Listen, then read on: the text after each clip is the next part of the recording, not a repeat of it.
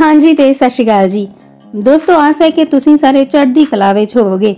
ਦੋਸਤੋ, ਪੰਜਾਬੀ ਇੰਡਸਟਰੀ ਦੀ ਐਕਟਰ ਅਤੇ ਮਾਡਲ ਮੈਂਡੀ ਤੱਖੜ ਨੇ ਕਿਸਾਨਾਂ ਪ੍ਰਤੀ ਹਿੰਸਾ ਤੇ ਪੀਐਮ ਮੋਦੀ ਨੂੰ ਗੁਹਾਰ ਲਗਾਈ ਹੈ ਅਤੇ ਉਹਨਾਂ ਦੀਆਂ ਇਹਨਾਂ ਗੱਲਾਂ ਦੇ ਵਿੱਚ ਦਿਲਜੀਤ ਅਤੇ ਜੈਜ਼ਬੀ ਦਾ ਵੀ ਜ਼ਿਕਰ ਹੋਇਆ ਹੈ।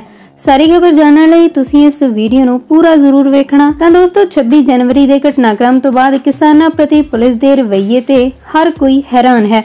ਸੋਸ਼ਲ ਮੀਡੀਆ ਤੇ ਅਜਿਹੀਆਂ ਕਈ ਤਸਵੀਰਾਂ ਅਤੇ ਵੀਡੀਓਜ਼ ਵਾਇਰਲ ਹੋ ਰਹੀਆਂ ਹਨ, ਜਿਨ੍ਹਾਂ 'ਚ ਕਿਸਾਨਾਂ ਤੇ ਹਿੰਸਾ ਹੁੰਦੀ ਸਾਫ਼ ਦੇਖੀ ਜਾ ਰਹੀ ਹੈ।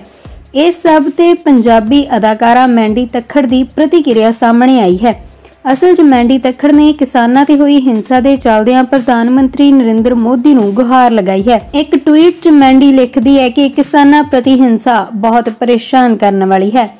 ਇੰਨੀਆਂ ਥਾਵਾਂ ਤੇ #humanrightsviolations ਸਾਡੇ ਦੇਸ਼ ਦੇ ਲੋਕਾਂ ਦਾ ਲਹੂ ਵਹਿ ਰਿਹਾ ਹੈ ਐਟ ਨਰਿੰਦਰ ਮੋਦੀ, ਦਿਲ ਟੁੱਟ ਰਿਹਾ ਹੈ ਬਹੁਤ ਜ਼ਿਆਦਾ ਟੁੱਟ ਰਿਹਾ ਹੈ ਮੈਂਡੀ ਤਖੜ ਦੇ ਇਸ ਟਵੀਟ ਤੋਂ ਬਾਅਦ ਲੋਕਾਂ ਦੀਆਂ ਅਨੇਕਾਂ ਪ੍ਰਤੀਕਿਰਿਆਵਾਂ ਆ ਰਹੀਆਂ ਹਨ।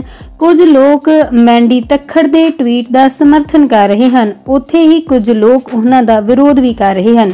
ਸਰਦਾਰ ਲੱਕੀ ਸਿੰਘ ਨਾਂ ਦੇ ਇੱਕ ਯੂਜ਼ਰ ਨੇ ਟਵੀਟ ਹੇਠਾਂ ਲਿਖਿਆ ਹੈ ਦਿਲਜੀਤ ਤੇ ਜੈਜ਼ੀਬੀ ਕਿੱਥੇ ਹਨ?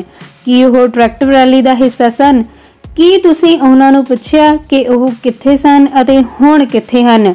ਨਰਿੰਦਰ ਮੋਦੀ ਕਿਸਾਨਾਂ ਦੇ ਨਾਲ ਸਨ ਅਤੇ ਅੱਜ ਵੀ ਕਿਸਾਨਾਂ ਦੇ ਨਾਲ ਹੀ ਹਨ। ਯੂਜ਼ਰ ਦੀ ਇਸ ਟਿੱਪਣੀ ਤੇ ਮੈਂਡੀ ਤੱਖੜ ਨੇ ਵੀ ਪ੍ਰਤੀਕਿਰਿਆ ਦਿੱਤੀ ਹੈ ਤੇ ਜਵਾਬ ਵਿੱਚ ਲਿਖਿਆ ਹੈ ਕਿ ਭਾਰਤ ਦੇਸ਼ ਦੀ ਨਾਗਰਿਕ ਹੋਣ ਦੇ ਨਾਤੇ ਮੈਂ ਨਰਿੰਦਰ ਮੋਦੀ ਨੂੰ ਹਿੰਸਾ ਬੰਦ ਕਰਨ ਲਈ ਆਖ ਰਹੀ ਹਾਂ, ਕਿਉਂਕਿ ਉਹਨਾਂ ਕੋਲ ਹਿੰਸਾ ਨੂੰ ਬੰਦ ਕਰਵਾਉਣ ਦੀ ਤਾਕਤ ਹੈ। ਹਾਂਜੀ ਤਾਂ ਦੋਸਤੋ, ਇੰਨਾ ਹੀ ਸੀ ਅੱਜ ਦੀ ਇਸ ਵੀਡੀਓ ਵਿੱਚ। ਦੋਸਤੋ ਮੈਂਡੀ ਤਖੜ ਦੇ ਇਸ ਟਵੀਟ ਤੇ ਆਪਣੀ ਪ੍ਰਤੀਕਿਰਿਆ ਕਮੈਂਟ ਕਰਕੇ ਜ਼ਰੂਰ ਸਾਂਝੀ ਕਰਨਾ। ਦੋਸਤੋ, ਜੇਕਰ ਦਿੱਤੀ ਗਈ ਜਾਣਕਾਰੀ ਤੁਹਾਨੂੰ ਚੰਗੀ ਲੱਗਦੀ ਹੈ ਜਾਂ ਫਿਰ ਵੀਡੀਓ ਤੁਹਾਨੂੰ ਚੰਗੀ ਲੱਗਦੀ ਹੈ, ਤਾਂ ਇਸ ਵੀਡੀਓ ਨੂੰ ਲਾਈਕ ਕਰਨ ਦੇ ਨਾਲ ਨਾਲ ਇਸ ਨੂੰ ਵੱਧ ਤੋਂ ਵੱਧ ਸ਼ੇਅਰ ਜ਼ਰੂਰ ਕਰ ਦੇਣਾ, ਤਾਂ ਜੋ ਹੋਰਨਾਂ ਲੋਕਾਂ ਤੱਕ ਵੀ ਇਹ ਸਾਰੀ ਜਾਣਕਾਰੀ ਪਹੁੰਚ ਸਕੇ।